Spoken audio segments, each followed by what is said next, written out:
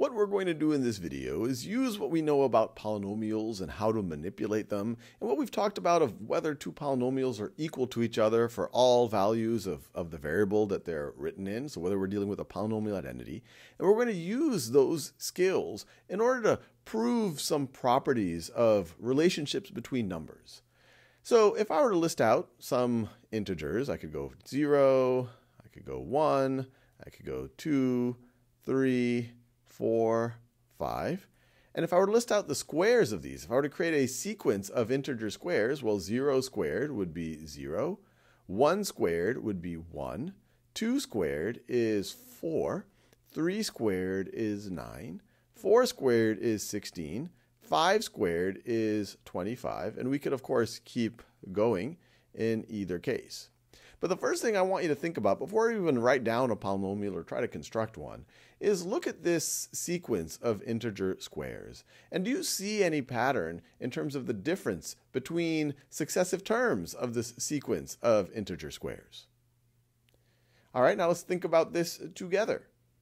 So to go from 0 to 1, you add 1.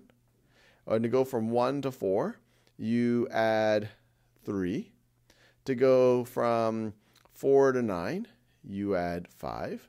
To go from 9 to 16, you add 7. It seems like a, a, pattern here. As we go to successive terms of this sequence of integer squares, we're, in, we're adding increasing odd numbers. So I'm guessing that if I add 9 here, which is the next odd number, I'm going to get to 25, and that indeed is the case. And you could test that out. Well, what if I add 11, which would be the next odd number, what do I get to? I get to 36, which is the square of 6. But how can we feel good that this always is true, that this never breaks down? Well, one way to do it is to think a little bit more generally, and that's where our algebra and our knowledge of polynomials are going to be useful. So let's say we go all the way, and we're just speaking generally now. So we have the number n, and then with the next number after that is going to be n plus 1. And then if we think about what the corresponding terms in the sequence of integer squares would be, well, that would be when we square it, when we get to n, we would get n squared.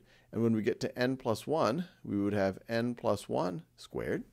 And let's see if we could think about what the difference between these two things are. The difference between 25 and 16 is 9. The difference between 16 and 9 is 7. So let's think about what the difference between n plus 1 squared and n squared is. And how do we write that as a polynomial? Well, it'll just be n plus 1 squared minus n squared.